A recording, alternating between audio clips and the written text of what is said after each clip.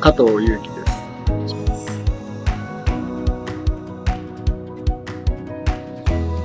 では26歳で、出身は埼玉県になります。で、ポジションは今ゴールキーパーをやってます。はい。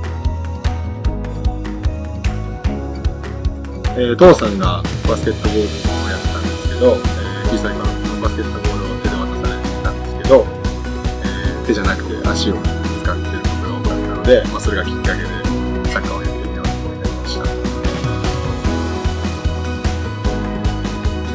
小学生の時はフィールドプレイヤーをやっていたんですけど、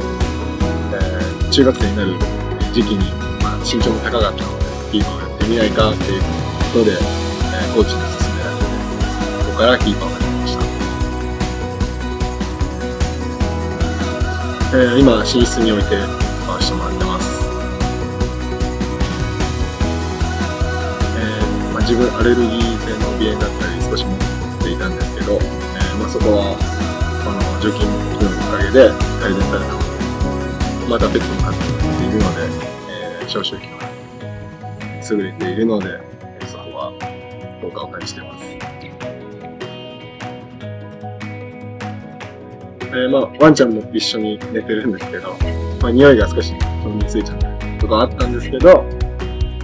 まあ、そこは消臭機能、えーブルーの消臭機能のおかげで少し和らいで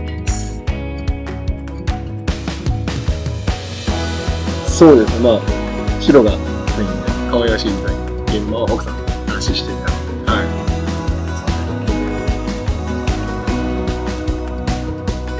はい、えー、パナソニックさんの空気清浄機を使ってました。そうですね、まあ、除菌がメインと、まあ、加湿機能ですね。は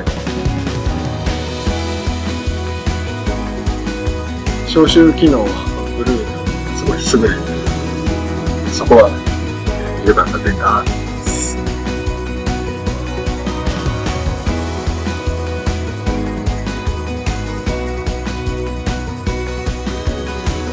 そうですね、まあ、さっきも言いましたけど、息子もまだ小さいので、まあ、そこ安全ということは、すごい助かりますし、まあ、自分ワンちゃんも飼ってるので、そこに影響ないっていうのは、すごい、